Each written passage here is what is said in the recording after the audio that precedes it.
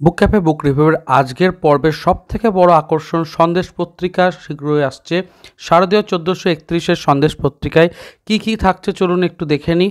তো অবশ্যই থাকছে সোনার কেল্লা পঞ্চাশ আড্ডা, সব্যসাচী চক্রবর্তীর রঙিন ফটো অ্যালবাম, সত্যজিৎ রায়ের ধাঁধা হেয়ালি। বিশেষ একটা অংশ দেখতে পাচ্ছি সন্দীপ রায়ের সঙ্গে একটা ভূতুরের সন্ধ্যায় সৌম্যকান্তি দত্তের ওপর একটা বিষয় রয়েছে। এছাড়াও সতেরোটি গল্প, তিনটি কবিতা, একটি প্রবন্ধ এবং পুজোর বিশেষ রচনা হিসেবে তেরোটি গল্প, একটি বড় গল্প, তিনটি উপন্যাস, পাঁচটি প্রবন্ধ, নিয়মিত অন্যান্য বিষয় সব কিছুই রয়েছে। তো সব মিলিয়ে কিন্তু একটা দারুণ ব্যাপার এবং দামটাও কিন্তু সাধ্যের মধ্যে রাখা হয়েছে দুশো কুড়ি টাকা। তার উপর অবশ্যই ছাড় ইত্যাদি থাকবে। তো সব মিলিয়ে আমার মনে হচ্ছে যথেষ্টই ভালো হয়েছে। এখন প্রকাশের অপেক্ষা, প্রকাশ হলে কিন্তু অবশ্যই আমি কালেক্ট করব। শিশির বিশ্বাস থেকে শুরু করে হিমাদ্রি কিশোর দাশগুপ্ত বহু লেখকের আমরা লেখা সন্দেশ পত্রিকা এবার পেতে চলেছি। এরপর রয়েছে দিল্লি বইমেলার গল্প। তো বিল দিল্লি বইমেলাতে কিন্তু চিত্তরঞ্জন পার্ক বইমেলাতে দেশ পাবলিকেশন থাকছে এবং বিশ থেকে উনত্রিশে সেপ্টেম্বর পর্যন্ত এটা হচ্ছে। দুপুর দুটো থেকে রাত্রি নটা পর্যন্ত এবং শনি রবিবার দুপুর বারোটা থেকে রাত্রি নটা পর্যন্ত। তো যারা দিল্লিতে থাকছেন বাঙালি এবং যারা বই কিনতে পছন্দ করেন বাংলা, তারা কিন্তু ওখানে পৌঁছে যেতে পারেন।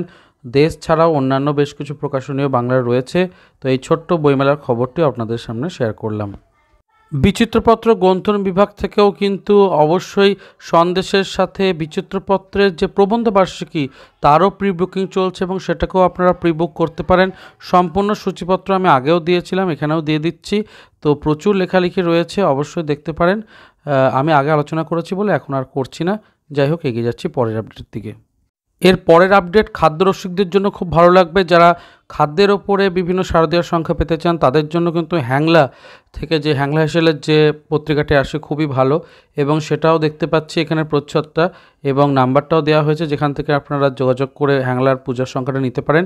অত্যন্ত ভালো পত্রিকা, ভেতরে কিন্তু প্রচুর পরিমাণে কালারিং পেজ এবং খুব মানে ভালো পেজের কোয়ালিটি থাকে। আমি দেখেছি বেশ কিছু পত্রিকা ঘেটে। তো অবশ্যই ওনাদের লেখাও খুব ভালো হয়, ভ্রমণেরও বেশ কিছু লেখালেখি থাকে। তো আশা করছি এটাও ভালো হবে। যদি আপনি কোথাও কোথাও পান বিপণীতে, তাহলে একবার নেড়ে ঘেটে দেখতে পারেন, পছন্দ হলে অবশ্যই নেবেন। না হলেও পত্রিকার সম্পর্কে জানা হয়ে থাকবে, সেটাও কিন্তু একটা বড় ব্যাপার। এগিয়ে যাচ্ছি পরের আপডেটের দিকে। সাপ্তাহিক বর্তমানের আপডেটটাও রয়েছে, খুব সুন্দর। সামনের দিনে যে সপ্তাহে সাপ্তাহিক বর্তমানটা আসতে চলেছে, মুদ্রিত মূল্য দশ টাকা, সেখানে মূলত মা দুর্গার নয়টি রূপ সম্পর্কে আলোচনা করা হয়েছে এবং ধারাবাহিক তো রয়েছে ভ্রমণ, গল্প, বিশেষ রচনা ইত্যাদি তো থাকছে। তো অবশ্যই আঠাশ সেপ্টেম্বরের সংখ্যাটিকে আপনারা নিতে পারেন। আশা রাখছি ভালো লাগবে এবং তার সাথে জানায় সাপ্তাহিক বর্তমান কিন্তু পারিবারিক পত্রিকা হিসেবে খুবই বিখ্যাত। প্রত্যেকেই পড়েন এবং অত্যন্ত ভালো মানের লেখালেখি থাকে। আমিও বেশ কিছু সংখ্যা মাঝে মাঝে কালেক্ট করি সুযোগ পেলেই। তো অবশ্যই এটাকেও সংগ্রহ করতে পারেন। আপডেটটা দেওয়া রইল। বাংলাদেশের পাঠকদের জন্য সুখবর, কারণ কৌশিক মজুমদারের একটি নতুন বই আসতে চলেছে। নতুন বই ঠিক নয়, আধার আখ্যান বলে যে বইটি আমাদের এখানে প্রকাশিত হয়েছিল ভারতে, সেই বইটিরই তিরিশটি গল্প নিয়ে নতুন করে নাম দেওয়া হয়েছে মৃত্যু স্বপ্ন এবং সেটাকেই বাংলাদেশের পাঠকদের জন্য রাখা হচ্ছে। তো ও অবশ্যই ওখানে পাওয়া যাবে এবং কৌশিক মজুমদার শুধুমাত্র এবার বাংলায় নয়, ওপার বাংলাতেও কিন্তু যথেষ্ট সমাদৃত। প্রচুর বইয়ের আমি দেখেছি, ওনাদের তরফ থেকেও কিছু এডিশন করা হয়েছে।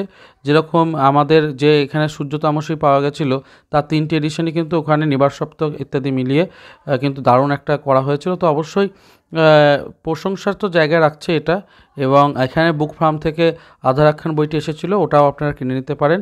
আমার কাছেও বইটি রয়েছে। খুব ভালো একটা বই। এগিয়ে যাচ্ছি পরের আপডেটের দিকে। শুরু হয়ে যাচ্ছে জেলা বইমেলা এবং জেলা বইমেলার বিজ্ঞাপনগুলো আঁকে আঁকে শুরু হচ্ছে দেখতে পাচ্ছি। যেরকম সিঙ্গুর বইমেলার একটা বিজ্ঞাপন এখানে রয়েছে। মূলত এখানে কবিতা অঙ্কন ইত্যাদির জন্য ব্যাপারটা ছাপা হয়েছে, কিন্তু আমার মূলত লক্ষ্য রয়েছে ডেটটা দেখা, সাত থেকে পনেরোই ডিসেম্বর। কাজেই বোঝা যাচ্ছে নভেম্বরের শেষ দিক থেকে ডিসেম্বর গোটাটাই এবং জানুয়ারির প্রথম দিক পর্যন্ত বিভিন্ন জেলা বইমেলাগুলো চলবে এবং সেটাই কিন্তু আমার মানে বলার যে আপনারা কিন্তু তাহলে প্রস্তুতি নিতে শুরু করুন এবং ইনভেস্টমেন্ট কোথায় কী করবেন এগুলো একটু চিন্তাভাবনা করে রাখতে শুরু করুন তাতে ওই সময় বই কিনতে এতটুকু অসুবিধা না হয় এবং কী কী বই বেরোবে না বেরোবে সবটাই আপডেট আমি কিন্তু দিয়ে দেবো, অসুবিধা নেই। এগিয়ে যাচ্ছি পরের আপডেটের দিকে। একদিকে যেরকম বিভিন্ন পূজাবার্ষিকীগুলি একে একে তাদের ডানা মেলে ধরছে, সেরকম জায়গাতেই হংসরাজ নামে একটি পত্রিকা রয়েছে। সেটাও কিন্তু যথেষ্ট ভালো এবং সেই সংখ্যাটিও ক্রমশ প্রকাশ্য। তবে সূচিপত্রেও প্রকাশিত না হলেও আমরা কিন্তু প্রচ্ছদটা পেয়ে গেছি এবং শিশু কিশোর পত্রিকা হিসাবে খুব ভালো একটা পত্রিকা, প্রচ্ছদ ভালোই হয়েছে। খুব শীঘ্র যদি যে লেখক সূচি প্রকাশ হবে, তখন আমি অবশ্যই আপনাদের সামনে তাদের তুলে ধরবো। এগিয়ে যাচ্ছি পরের আপডেটের দিকে। এবার আসছি আরও একটি পূজার সংখ্যা যেটা নির্মল বুক এজেন্সি থেকে প্রকাশিত হয়। আগে ষষ্ঠীপদ চট্টোপাধ্যায় এটার সম্পাদনা করতেন, কিন্তু বর্তমানে তো উনি নেই।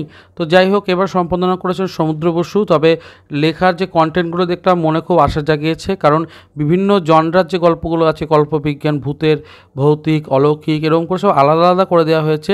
এবং দাম রাখা হয়েছে দুশো পঞ্চাশ টাকা। তার উপর ছাড় ইত্যাদি তো হবেই। তো কবিতা থেকে শুরু করে সামাজিক গল্প, এটা ওটা সমস্ত রয়েছে এবং আপনাদের সামনে অবশ্যই ছুটির এই যে পরপর পরপর ছুটির সানায়, ছুটির ঘণ্টা ছুটির দিনে কি করে, কত সালে কোনটা প্রকাশিত হয়েছিল তারও একটা লিস্ট দেখিয়ে দিচ্ছি। অর্থাৎ খুবই পুরনো একটা এটা বলা যেতে পারে সংকলন। তো আপনারা চাইলে অবশ্যই পারচেস করতে পারেন। ভালো ভালো লেখকদের সব ডিটেল রয়েছে, আমি সবটাই দিয়ে দিলাম। এরপর আসছি কল্পবিশ্ব প্রকাশন থেকে, তো কল্পবিশ্ব থেকে কল্পবিজ্ঞানের ওপরে সিদ্ধার্থ ঘোষের রচনা সংগ্রহটাকে রাখা হচ্ছে। দেখতেই পাচ্ছেন, দাম রাখা হচ্ছে তিনশো পঁচাত্তর টাকা মতো এবং তৃতীয় খণ্ডক এটা। তো আপনারা অবশ্যই সংগ্রহ করতে পারেন। খুবই ভালো একজন লেখক এবং ওনার প্রবন্ধ সংগ্রহগুলো যদি করে থাকেন, তাহলে অবশ্যই দেখবেন অসাধারণ কিছু লেখা। বুক ফার্ম থেকে রয়েছে ওগুলো ওগুলো আমি কিছুটা পড়েছিলাম।